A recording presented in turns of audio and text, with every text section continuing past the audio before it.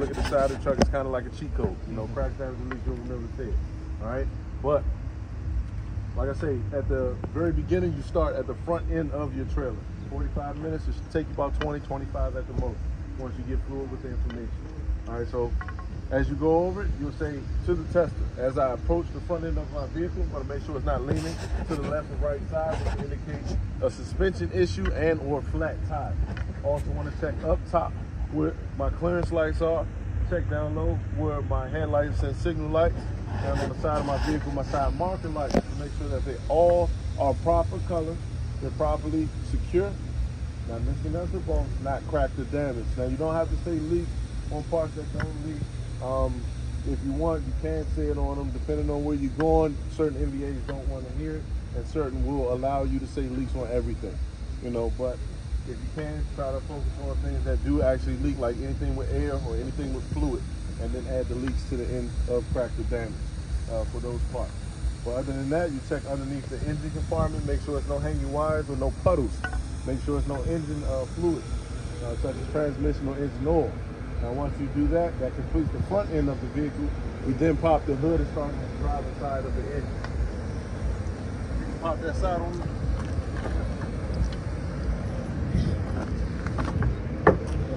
Appreciate it, boss. Thank you. All right. Now from this point on, if you want to record, feel free to record. You can get a personal view, uh, video. That way you can zoom in on some of the parts that I point out uh, for those who want to record. It's totally fine. All right. All right, so when you get to the engine part of the uh, the compartment, you want to name all hoses and wires.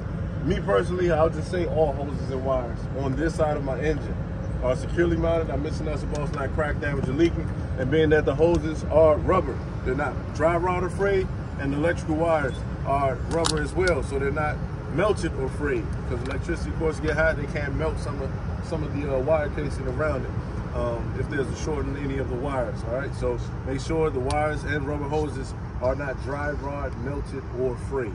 All right, so that will cover all hoses and wires on this side of my engine. All right, from that point on, I'll go to my steering gearbox.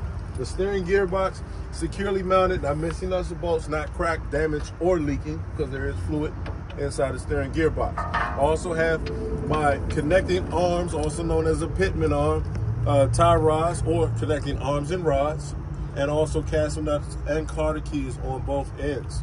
All right, and they're both, all parts, excuse me, are securely mounted, not missing nuts or bolts, not cracked or damaged. From there, we go up to our coolant reservoir. We check the coolant reservoir through the sight glass. Now, in between the sight glass, it should read between add and full. If we happen to need to add any fluid to any of the reservoirs that hold fluid, you always want to wait till the engine cools off before adding any fluid all right? And also you make sure that that reservoir is securely mounted, not missing nuts or bolts, not crack damage or leaking fluid. All right, from there you go to your power steering fluid. Uh, we check that by pulling out the dipstick here. We'll wipe it clean, reinsert it, pull it back out, should read between and full. Same exact thing with the oil dipstick, pull it out, wipe it clean, reinsert it, pull it back out. It should once again read between and full. Um, now, technically, on the day of your test, you do not have to touch any part out here. You just point to it and explain to them what you would check, all right? So from there, we go back to the power steering uh, fluid. We drop down to the power steering fluid hose. Now, this hose is going to lead to my first gear-driven part on this side of the engine, which will be my gear-driven power steering pump. That should be securely mounted, not missing nuts or bolts, not cracked or damaged. You just tell them you follow this hose and it drops down below the frame. You cannot technically see the power steering pump because it is uh, further down underneath the frame, but it is there. You just let them know you follow that hose down to it. They know exactly what you're talking about. And from there, we go to our second and final gear-driven part, which would be the gear-driven air compressor and air lines. If you want to zoom in, get a better look, see exactly where that hole's going. There you go, the air compressor and air lines. All right, those two parts securely mounted, not missing or bolts, not crack damage or leaking air. All right. And from there, that concludes it. This side of the engine, we walk around to the other side. And on this side is just a few parts that we got to check. Once again, we'll say all hoses and all wires on this side of the engine. All right, securely mounted, not missing nuts or bolts, not crack damage or leaking. Also not dry rot melted or frayed, so that covers all hoses and connecting wires on this side. All right, so from there, we only have three parts to go over. We got the belt-driven alternator. All right, must say that it is a belt-driven alternator. It is ran by the belt, the serpentine belt here. That belt should not have more than three quarter inch of play in that belt if you was to push or tug onto that uh, belt. It should also not be ripped or torn, dry rod or frayed. It should be securely mounted, all right? And from there, that alternator also securely mounted, not missing nuts or bolts, not cracked or damaged. And you know which one is the alternator that has the red and white wires connected to it, all right? And from there, it drops down to our second and final belt-driven part, which would be the belt-driven water pump. All right, that sits below the frame. Oh, okay. You technically don't have to really get up on it. You can actually stand back and just point down in that direction. They know what you're talking about. It's your belt-driven water pump, which should be securely mounted, not missing nuts or bolts, not cracked, damaged, or leaking in. From there, you go down to your suspension parts. We have four suspension parts that we must go over. First will be the front hanger mount. There's your front hanger mount. Second is the rear hanger mounts, which sits actually behind the plastic frame so you can't see it, but it's back there. Front and rear hanger mount. Then also you have your leaf spring. The leaf spring should not be shifted and or missing. You have your U-bolts, which are shaped like an upside down U. Two U-bolts here. All right. And then you have your top and bottom shock absorber. Those four parts, front and rear hangers, leaf spring, U-bolts, and shock absorber. All parts securely mounted, not missing nuts or bolts, not cracked, damaged, and shock absorber not leaking also. From there, you go to your five brake parts. Five brake parts, brake hose. All right, brake hose connect to the brake chamber. All right, that brake chamber and brake hose, both parts securely mounted, not missing nuts or bolts, not cracked, damaged, and or leaking. All right, from there we go to our slack adjuster push rod. All right, the slack adjuster push rod here. All right, the slack adjuster comes out, drops down at a 90 degree angle. The push rod should not move more than one inch with the brakes released and the wheels chalk.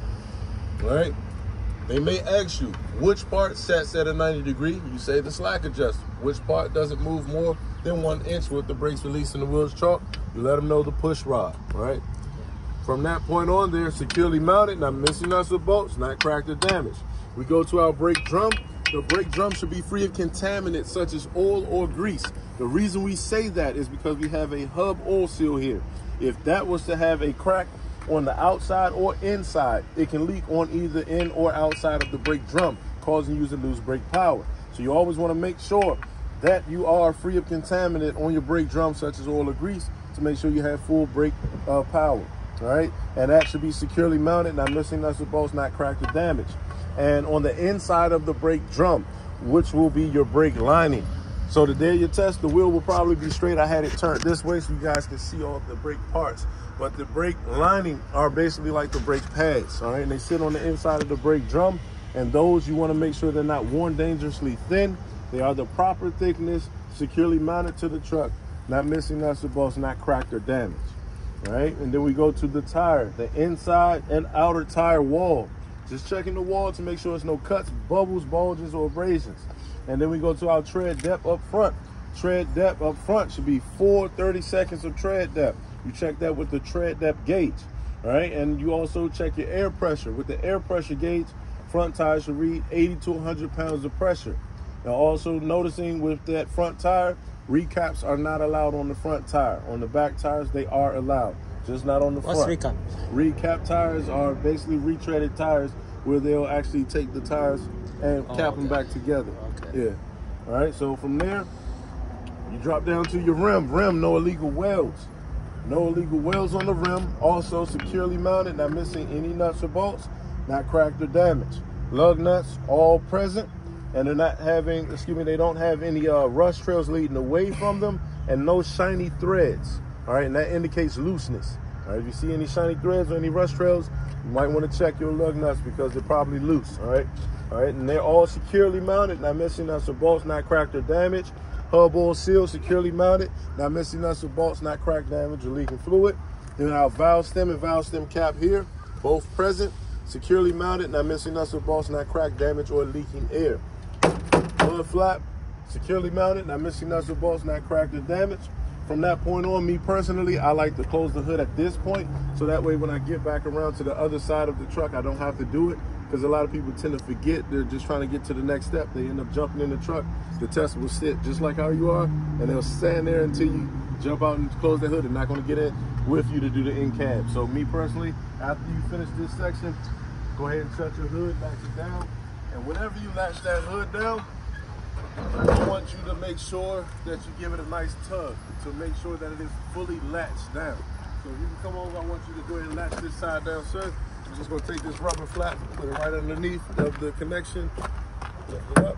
Yeah, lift that all the way up. Yep, and you're gonna put it right up on that other piece there.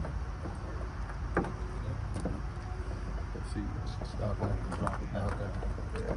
Yeah, you can feel it. Yeah, you feel the tension on that. Yeah, once it's locked. Yeah, go and put it all the way down. There you go. And then, okay, perfect. And then you always tug on it. Come to the front. Just give it a little tug, just to make sure it's secure. Because we have had a person close it and it wasn't fully latched down. They pulled up and stopped. It flew up. It's an automatic fail. So you can classify that as being uh, dangerous driver or whatnot, hazard. And um, yeah, that can cause an accident, of course, because once that hood is up, you cannot see out of that uh, mirror, uh, window, I'm sorry. Uh, but from that point on, step back to your stairs. Stairs should be free of debris, right? And securely mounted, not missing us, bolts not cracked or damaged. Come back to your exhaust system. Exhaust system should be securely mounted, excuse me, uh, not missing us or bolts, not CDLs, crack damage, or leaking. The reason we say leaks here, because if there was a crack on this exhaust, you'll see the black smoke trails, which is carbon soot. All right, they want to see and want to hear you say that it's not leaking carbon soot trails. All right, and that will indicate a leak. If there was any black smoke trails leading the way, you will be able to know that there is a leak there. All right. Now you also want to check your frame and also the cross members. Underneath the catwalk is another cross member, and the cross member here, they are in the shape and form of a ladder. If we were to take the trailer and truck apart and just lift up the frame, it looks like a ladder. It's in a ladder form. All right, and they're all securely mounted, not missing us or bolts, not cracked, damaged, and no illegal welds on the frame itself. Now, from that point on, I'll check my catwalk as well. It's free of debris, securely mounted, not missing us or bolts, not cracked or damaged. Over here, we have the drive shaft. Drive shaft and universal U-joints on both ends. Drive shaft free of debris. Universal U-joints are properly lubricated. Both securely mounted. U-joints, so shaped like a U. All right, that's the U-joints on both ends. Come on up. See it? Kind of shaped like a U here. All right, and it's on both sides. All right, and free of debris, well lubricated, securely mounted, not missing nuts or bolts, not cracked or damaged. Now this is where it starts to get easy because now all we're doing is pretty much repeating all the parts that we just named up front, but we don't have to give those tedious details.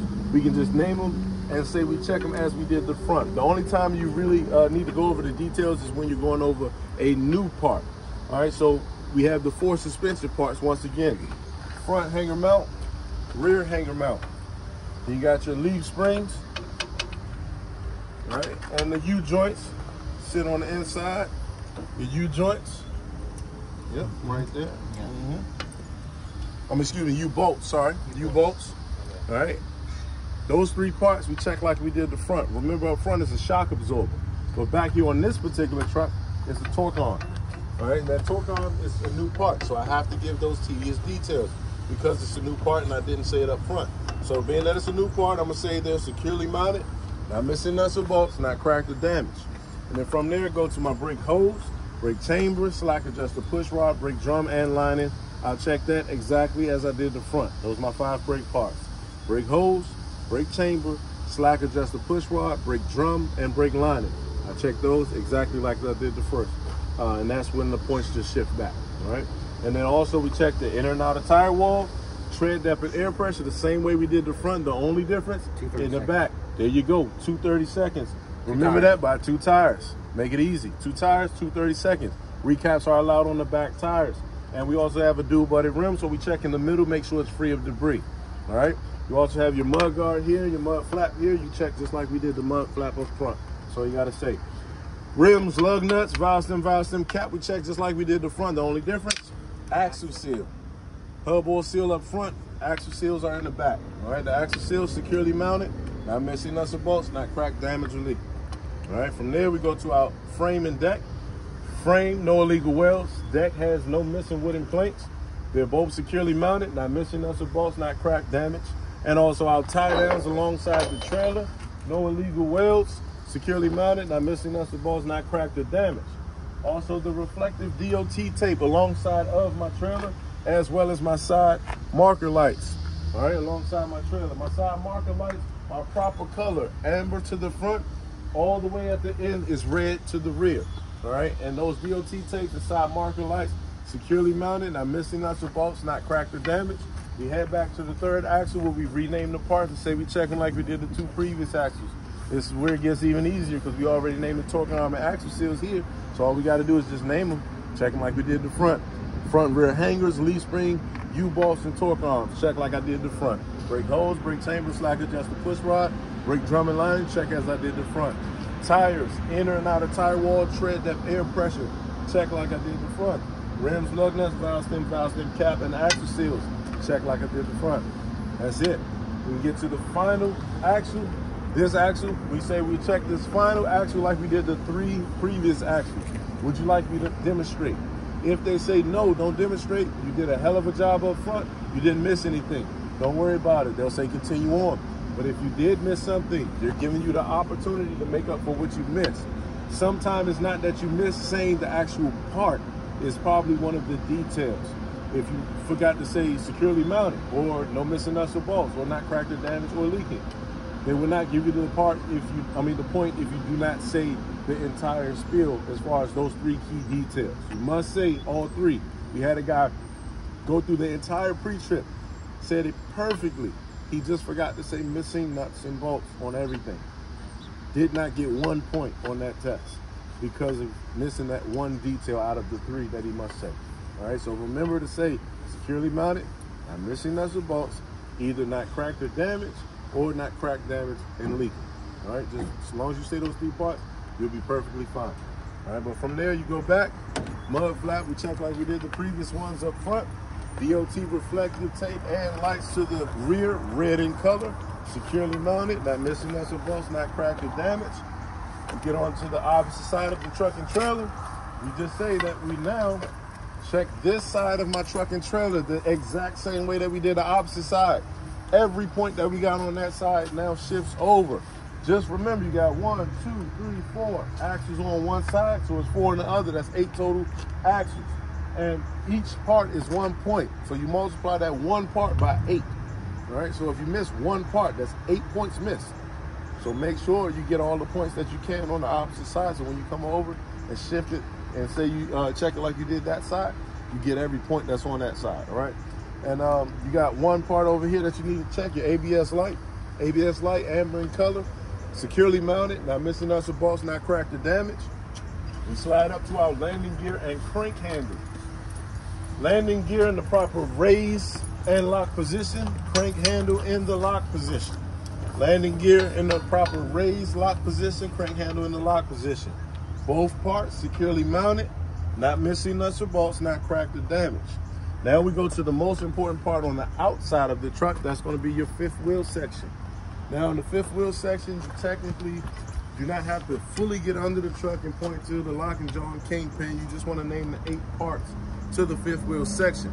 Now they don't want to hear the term fifth wheel. They want to hear the proper term, which is skid plate, right? And that would be this section here. This entire plate here, it will be considered your fifth wheel, but it's also known as well, actually known as the skid plate. That's the proper term for it, but also known as the fifth wheel. All right. So you have your apron. Apron is the frame of the trailer, and that's going to sit on top of your skid plate. And if you can see in between the skid plate and apron, there's no gap. If there is a gap, you might want to check that truck and trailer and make sure that it is completely latched because if there is a gap, it's not completely latched properly and it can come loose. Right, so you always want to check to make sure there's no gap. And you want to make sure it's also well lubricated. You see a lot of the grease around it. All right, properly lubricated. All right, and those, those two parts securely mounted, not missing nuts or bolts, not cracked or damaged. And right beneath that, you have the hitch release lever. Right, the hitch release lever, that's the unlatch your locking jaw. That hitch release sits right beside the locking pin. Right, the locking pin here, and your hitch release here. Hitch release, locking pin. Both of those parts securely mounted, not missing nuts or bolts, not crack damage, there. All right, and that's four parts that I just named. Apron skid plate, hitch release locking pin. We have our platform here, held down by the mounting bolts, those six parts, all right? Platform mounting bolts, securely mounted, not missing us bolts, crack the damage. And underneath the actual trailer itself, in between the fifth wheel section, once again, you don't have to technically get under here to see it. But for those today who actually want to see it, you can come on under.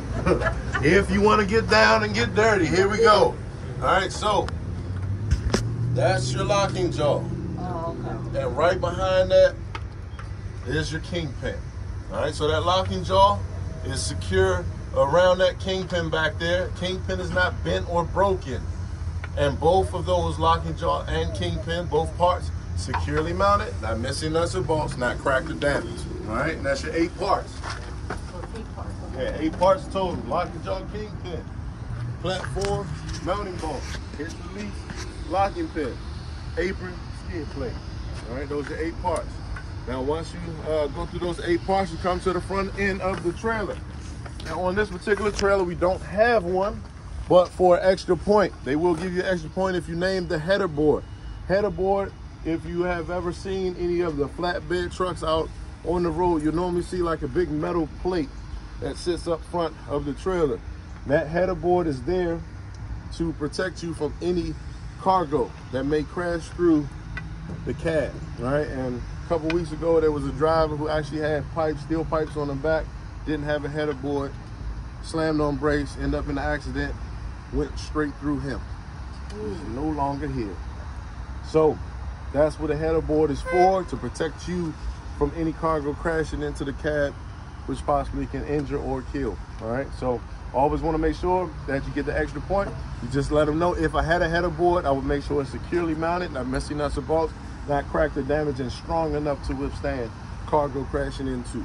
Right, and from there you go to your glad hands. Right, your glad hand connections and airlines. All right, so your glad hand connections and airlines, you want to feel and listen for any air leaks. Also, want to make sure that they are securely mounted, not missing or bolts, not cracked or damaged, and or leaking air. All right, and the rubber hoses are not dry rot or afraid. We have the electrical uh, connection on the trailer side, securely mounted, not missing nuts or bolts, not cracked, damaged there, and also the rubber uh, connection is not melted or frayed for the electric. All right, then we go to the truck side, and this is where we have our couplings, couplings and airline connections. I'm going to feel and listen on this side to make sure we don't have or hear any leaks and also make sure they're securely mounted, not missing us a bolts, not cracked, damaged there or leaking, not dry rot or frayed. And the electrical uh, connection on this side, securely mounted, not missing us a bolts, not cracked, damaged or leaking, not melted or frayed here. All right, so from there, we go to our fuel tank. Fuel tank and fuel straps. We want to check both. We want to check both fuel tank and fuel straps. Fuel straps should have no shininess, just like the lug nuts, to indicate looseness. Uh, but we also want to make sure that they're both securely mounted, not missing us or bolts, not crack damage, and not leaking fuel.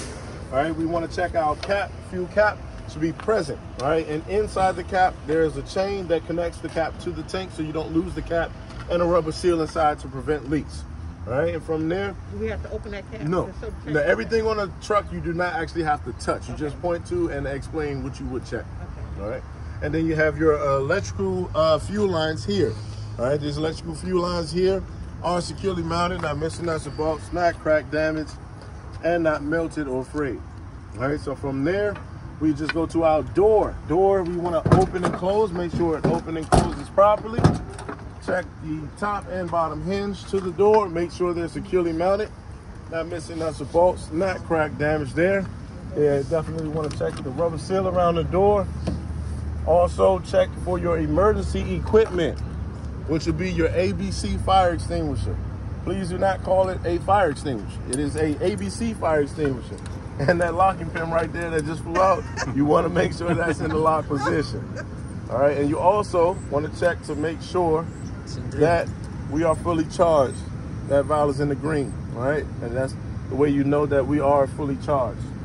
All right, and also from there, you got three reflective triangles, which are sitting underneath the passenger seat, spare fuses in the glove box. All right, and those are your three emergency equipment that you must name uh, before entering the uh, cab. All right, so from that point on, you got your handrail here, securely mounted, not missing that's and bolts, not cracked or damaged there. And from there, you can do your three points of contact to enter the cab with your hand on rail, hand on door, and foot on step. And just go ahead and enter the cab. Now, the same way I entered the cab is the same way I should get out. If I get out this way, Ooh, that's not good. go home. You failed. That's an automatic fail.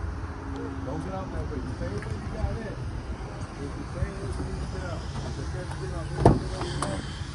Automatic. All right, so get in and out the same exact way. All right. So from this point on, from this point on, we would normally, yeah, one if one person want to get on the other side, open that door for me. Go ahead, open that door back open for the lady.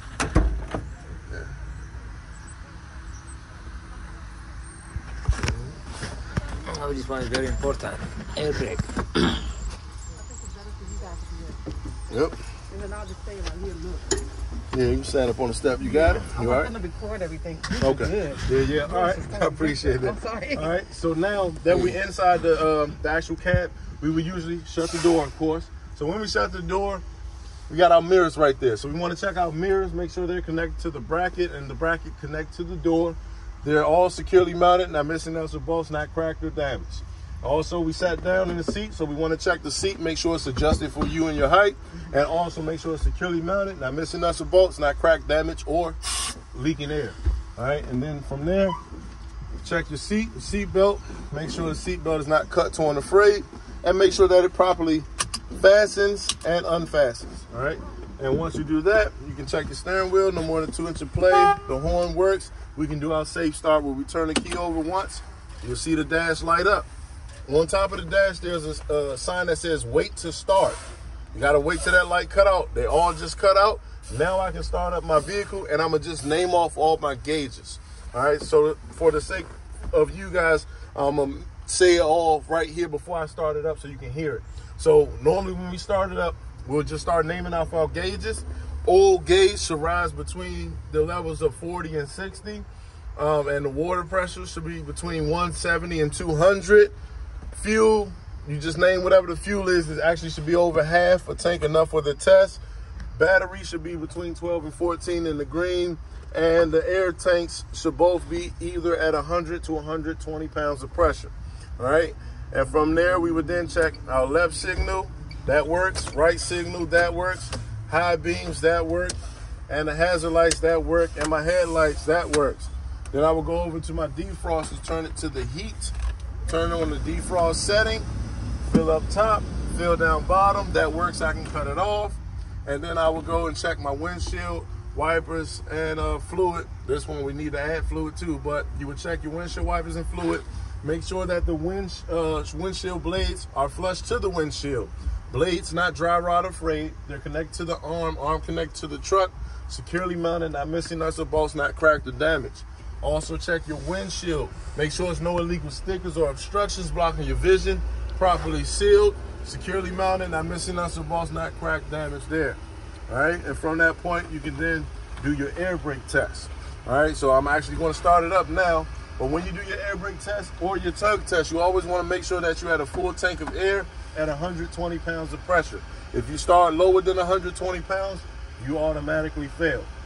Air brake test is the number one part of the test that you must get 100% on outside of the fifth wheel section. Those two parts are the most important parts. That's where your truck connects. Fifth wheel is where your truck connects to the trailer.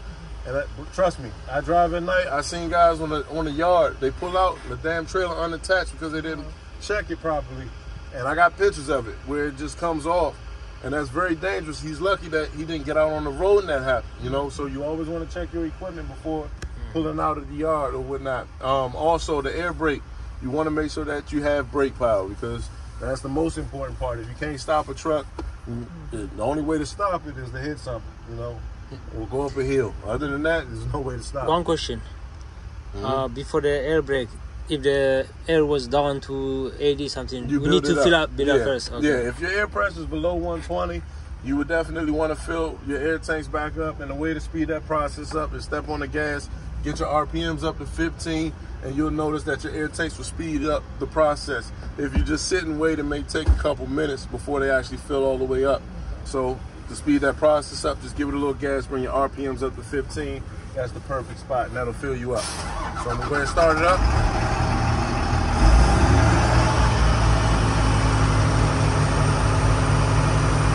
You heard that sound right there? That's the governor cutout. When you hear that, you know you're at 120. That's a full tank.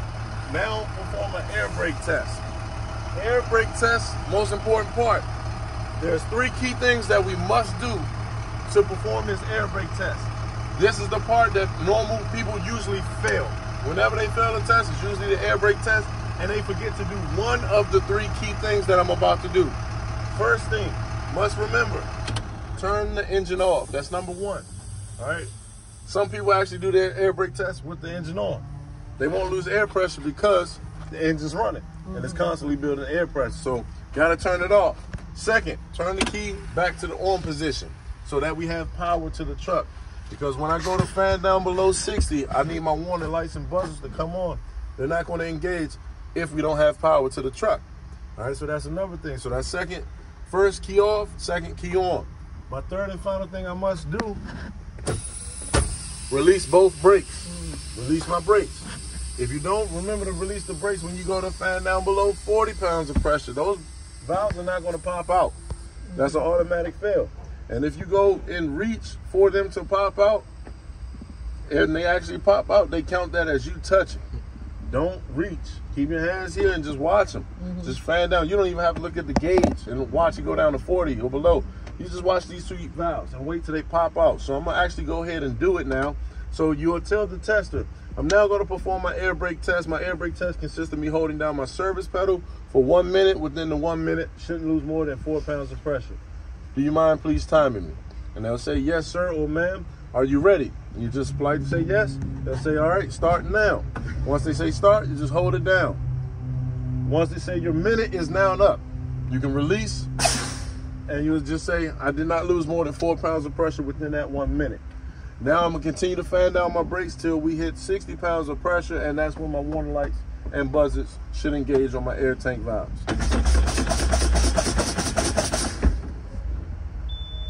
So my warning lights and buzzers just engaged. Red lights came on, you can clearly hear the buzzers. Now I'm gonna tell them they properly work. And now I'm gonna continue to fan down to approximately 40 pounds of pressure where my two yellow and red truck and trailer valves should pop out and engage. Always explain to them what you're gonna do before you do it. Don't touch that pedal until you are ready to start after you explain what you're gonna do first. Now just watch the valves. They both popped out. They properly work. That concludes my air brake test. That's 100% I pass. So now I must perform my tug test. Tug test is where I rebuild my air pressure back to 120 and I'm just gonna release one of the brakes, drop down to a lower gear and slightly tap on the gas to make sure the other brake that is still engaged. Which one is the lower gear? Yeah, I've dropped down to a lower gear. Once again, I build my air pressure back up, put it up to 15 RPMs.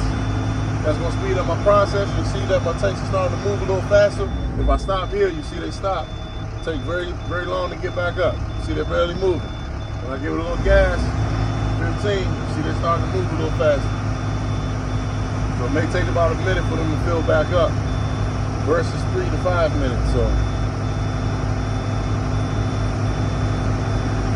coming up on 60 pounds. Got another 60 to go until we fill. The tank's all the way back to a full tank.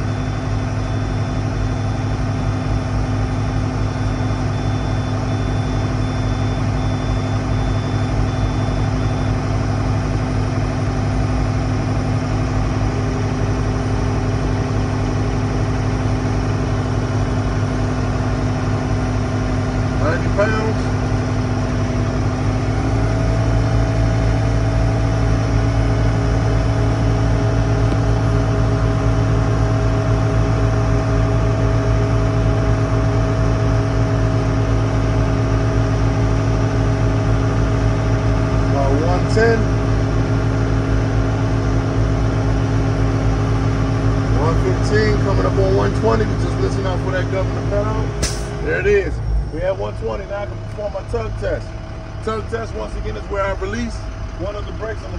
truck brake. Release it. Run through my gears. Reverse, neutral, drive, four, three, two, one. Leave it at one. Tap on the gas. The brake holds. pull that one out, push in the next one. It holds. That concludes my tug test. In cabin test fully completed. Only thing I have to ask the instructor to do is to check my outside light indicators. And I just asked them, can you perform the buddy system with me? Check my outside light indicators. And the day of your test, they'll let you know. Sometimes they'll say, don't worry about it. You got enough points. You're good. All right. Prepare yourself to grab the wheel chock and pull up to the start position to perform your skills test, which would be your straight back offset and parallel park. Uh, sometimes they may actually get out and they'll signal you left, right, signal high beams, headlights, uh, hazard lights, brake lights, reverse lights. They'll check it all. All right. Um, but other than that, that's pretty much it. That's the full pre-trip. Once again, it probably will take you about 20, 25 minutes at the most once you get fluid with it. Um, and once you go through it, if you actually was to miss something and you still have maybe 15 minutes left over, they'll actually let you get back out and find what you missed. And they may take you to the section that you possibly missed something, and they may say, go back over this section again. I want to hear it again. And they're trying to help you out, you know, to get you some extra time to go back over. So just take take a deep breath, take your time, go over everything, and make sure you get the details for every part all over again. And you should be able to pick up on what you missed. All right. Any questions? That's clear. Nope. All right. This concludes the pre-trip for today. First class is